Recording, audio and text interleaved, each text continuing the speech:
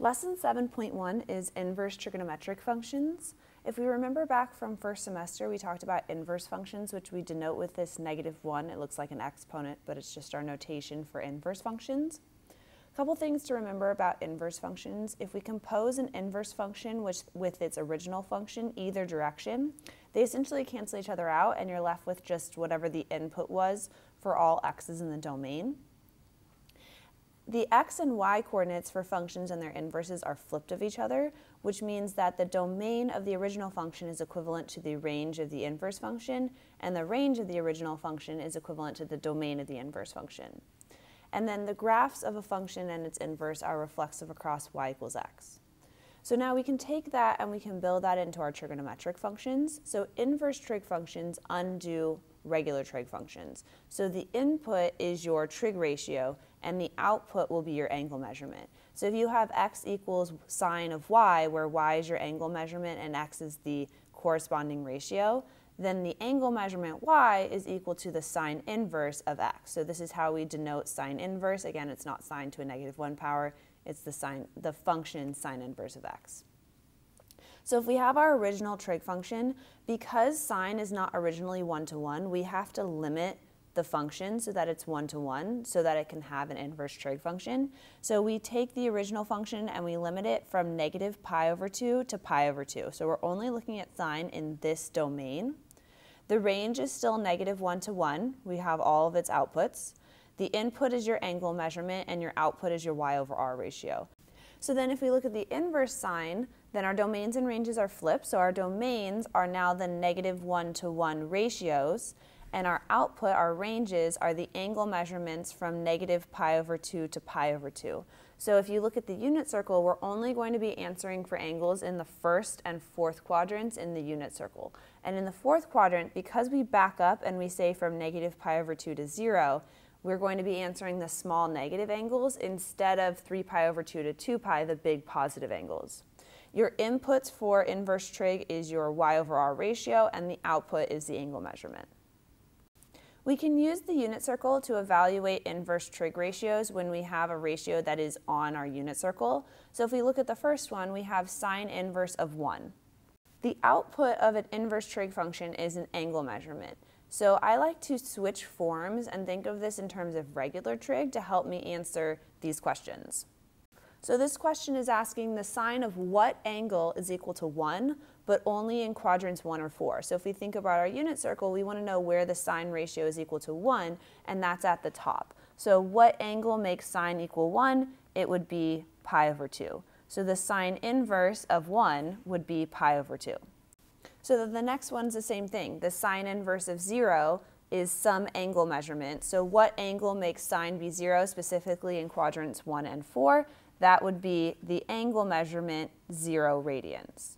So go ahead and pause the video and try the next two. Find the sine inverse of root 3 over 2 and the sine inverse of negative 1 half.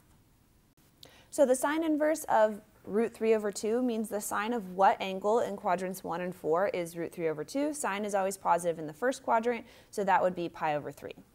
And then the next one, the sine inverse of negative 1 half. So the sine of what angle is negative 1 half in quadrants 1 and 4. Sine is negative in the fourth quadrant.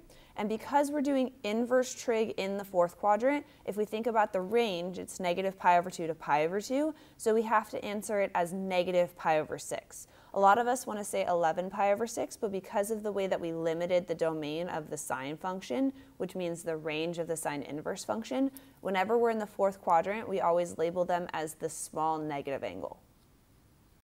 We can compose trig functions with inverse trig functions just like we've done in the past with other functions. Um, so for this first one, it says the sine inverse of the sine of pi over 6. So just like before, I always work from the inside out. So the sine of pi over 6 is 1 half. And so now I have the expression, the sine inverse of 1 half. So if I evaluate that just like we were doing on the previous slide, that's saying the sine of what angle equals 1 half in quadrants 1 and 4. It's positive, so that means I want to be in the first quadrant, so I end up with pi over 6. So if we notice the sine inverse and the sine ended up canceling each other out, but that's because pi over 6, the original input, is in the range of sine inverse. So it's okay, it's a okay output for sine inverse. It's like saying the square root of 2 squared is 2. But you have to be careful because if it's not in the range, then they wouldn't cancel each other out. Like the square root of negative 2 quantity squared is not negative 2. So if I'm going to jump down to number 3 here, I'm going to go the other way. So now I have the sine of the sine inverse of negative root 3 over 2. So I'm going to do the same thing where I'm going to work from the inside out. So for the inside, I end up with the sine inverse of negative root 3 over 2, which is saying the sine of some angle in quadrants 1 and 4 is negative root 3 over 2. And so that angle would be negative pi over 3. So now the outside is saying the sine of the angle negative pi over 3 is what ratio? Well, the ratio at negative pi over 3, which is the same place as 5 pi over 3 for sine, is negative root 3 over 2. So again, these two ended up canceling each other out because negative root 3 over 2 is in the range for sine. So my outside function was sine, which means my answer was going to be a ratio, and this input ratio for sine inverse was in that range. When in doubt, always work from the inside out, and that will always work. Um, shortcuts only work some of the time. So go ahead and pause the video and try the other three. So for number two, 5 pi over 4 is not in the range of sine inverse. It's not in quadrants 1 or 4, so that's not a possible answer. So I have to evaluate from the inside out. So the sine of 5 pi over 4 is negative root 2 over 2. And then if I take the sine inverse of that, so sine of what angle in quadrants 1 or 4 is negative root 2 over 2, I end up with negative pi over 4. So for the first one with my inverse trig on the outside, pi over 6 was in the range of sine inverse, so they canceled. I just got pi over 6. For the second one, 5 pi over 4 is not in the range of my inverse trig function, so therefore I have to evaluate it from the inside out. For number 4 and 5, they're not actually on the unit circle, but you can use your properties to kind of figure them out. So for the first one, this is saying that sine of some angle is 0.8 in quadrants 1 and 4. And we don't care what that angle is, it's just some angle theta. But then the next step is saying, okay, what's the sine of that angle? Well, the sine of the angle is 0.8, therefore what's the sine of the angle? It's 0.8. And they cancel because 0.8 is in the range of the original trig function sine, which is negative 1 to 1. For the next one, it's saying the sine of the sine inverse of 1.3. Well, if I work from the inside out, the sine inverse of 1.3 is saying what angle gives me a sine of 1.3 in quadrants 1.4. And that's not possible. There is no angle that could give you a sine ratio of 1.3. So therefore, it's no solution. This, this thing, there is no angle. There, the range for sine is one, negative 1 to 1. It, you will never get 1.3. So when your original trig function is on the outside, if this is not in the range, it's just not possible. It's no solution. So if we have inverse sine functions, we obviously have inverse of the other trig functions as well. So for example, if we have x equals cosine of y, where x is your cosine ratio and y is your angle measurement, then y is equal to the cosine inverse of x.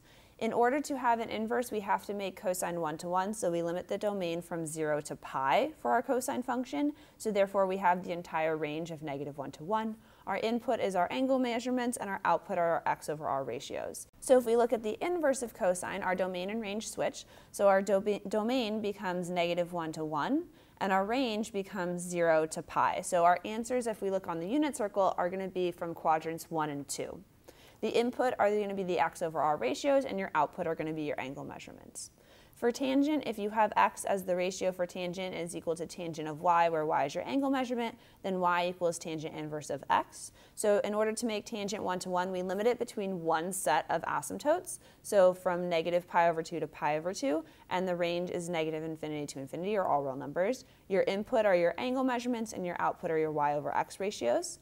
So for tangent of inverse of x, domain and range switch, so our domain is all real numbers, our range is from negative pi over 2 to pi over 2 not included. So like sine, we're going to have angle measurements in the first and fourth quadrants, where the fourth quadrant we're labeling them as small negative angles. And our input are going to be y over x ratios, and our output are going to be angle measurements. Our mnemonic to remember which inverse trig functions have which outputs or which ranges is sideways L. So if we write out our six trig functions in the order that we normally do and draw a sideways L, including cosine inverse, secant inverse, and cotangent inverse, then the ones that are inside sideways L, I think of them as being more cosine based, will give you outputs in quadrants one and two. So all of the angle measurement outputs of those inverse trig functions will be between zero and pi. Cotangent inverse will not include zero and pi. For the ones that are outside sideways L, sine inverse, tangent inverse, and cosecant inverse, I think of them as being more sine based. They will give you answers in quadrants 1 and 4. So the angle measurement answers for those inverse trig functions will be negative pi over 2 to pi over 2. And the ones that are in the fourth quadrant, we label them as the small negative angles. So go ahead and pause the video and try evaluating these cosine and tangent inverse problems.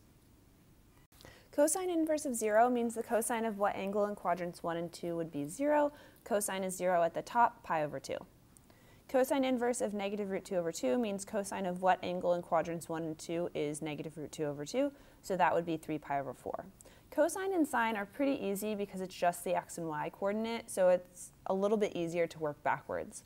Tangent, cotangent, secant, and cosecant are a little bit more difficult because of their ratios. So if I look at tangent inverse of 1, that means the tangent of what angle in quadrants 1 and 4 is 1.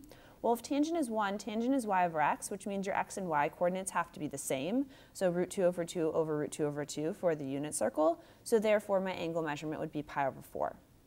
So you kind of have to work backwards to figure out what your original ratio was. Tangent inverse is negative of negative root 3 would mean the tangent of what angle in quadrants 1 and 4 is negative root 3. If it's simplified to negative root 3, it would originally have been negative root 3 over 2 over 1 half, because y over x, and so therefore it would be negative pi over 3. Here are some composite problems. Some of them use the unit circle, some of them do not, so go ahead and pause the video and try these four. So for the first one, the cosine inverse of the cosine of pi over 12. Pi over 12 is smaller than pi over 6, so it would be in the first quadrant. So they cancel each other off, even though this is not a unit circle one that we have memorized. And the answer is pi over 12, because you're going to get some x over r ratio in the first quadrant, and then it's going to say the cosine of some angle in the first and second quadrant is that same ratio, so therefore it's the same angle. Same thing with the next one, the tangent of the tangent inverse of negative 1 half. The range for tangent is all real numbers. Negative 1 half is in that range, so therefore they cancel, you get negative 1 half. Because this part would say the tangent of some angle in the first and fourth quadrants would be a ratio of negative 1 half, and then it's going to say what's the ratio for that angle. So it's negative 1 half. For the next one, 2 pi over 3 is not in the range for tangent inverse because this would be in the second quadrant and the range for tangent inverse is in the first and fourth quadrants. So therefore they wouldn't cancel each other off. So I worked from the inside out. The tangent of 2 pi over 3 would be negative root 3 over 2 over 1 half. And then where in quadrants 1 and 4 would you get that same ratio? Well, it would be down in quadrant 4 because it's negative, and it would be negative pi over 3. For the last one, 5 pi over 9 is bigger than pi over 2, but smaller than pi. So therefore, it'd be in the second quadrant, which is not in the range for sine inverse. So we have to figure out how to evaluate this one. We can use some things that we learned in geometry to help us with this. So 5 pi over 9, like I said, is going to be over here in the fourth quadrant, and you're going to get some y over r ratio. And you're going to want to look for an angle in either the first or fourth quadrants that end up with that same y over r ratio. So if we look in the first quadrant, because it's positive, we want to go over to the first quadrant so we get positive, we end up with a congruent triangle here in the first quadrant. That's going to have the same y over r ratio. So by CPCTC, we end up with congruent parts of congruent triangles. So I know that the angle that I'm looking for here is going to be congruent to this angle with my terminal side and the negative x-axis. If this full angle here is 5 pi over 9, then by supplementary angles, this angle here has to be 4 pi over 9 because they have to add up to pi. So if this angle is 4 pi over 9, then therefore by CPCTC, the angle that I'm also looking for is also 4 pi over 9.